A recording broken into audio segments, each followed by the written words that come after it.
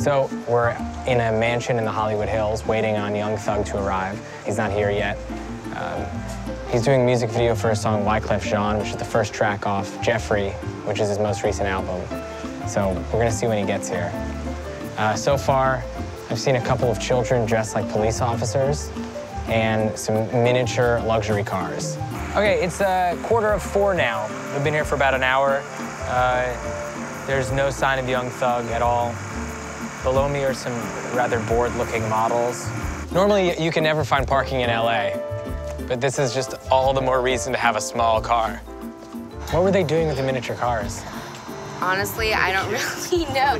Oh, the kids were driving The the kids car. are little policemen, um, and they were driving. We're kind of causing trouble. We're causing trouble, and I know some other girls were, um, like hitting the police cars and like smashing their windows and stuff like that. Yeah, yeah.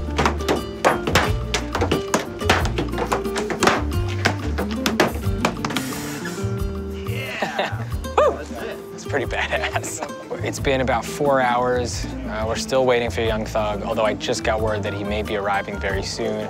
There's a car at the end of the hill, and I'm hoping Young Thug is inside of it.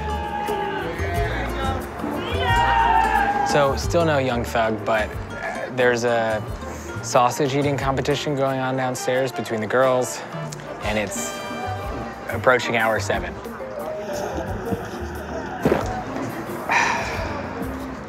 So it's after 7 p.m. Young Thug has finally arrived, although now the cops here are threatening to shut down the shoot because we're blocking the road. What's your name again?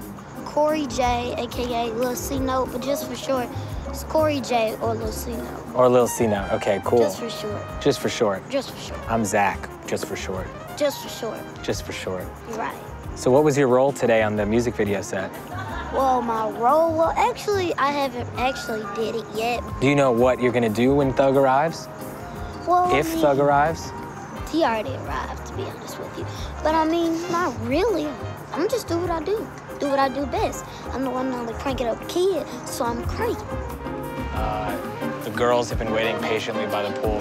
Okay, I just got a text. It says he's coming out. Wait. Another text. It says, wait, something happened. Overheard his social media got hacked. So we can't be 100% sure right now, but apparently what I've heard is that his social media has been hacked. And last night he lost his phone in Atlanta, which if you're a celebrity of his stature is a bit of a problem. So I went to his Instagram. A bunch of photos have been posted within the last half hour or so. One of his friend Travis Scott on the ground that says, bitch, and we're dead. Also, a shot of a married couple wearing blue bandanas.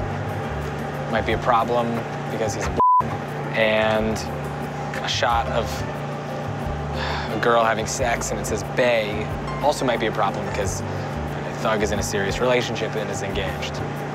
So, from what I've heard, he's down there, he's dealing with that. We may change locations, we may not. Um, all right, just got word the video's canceled.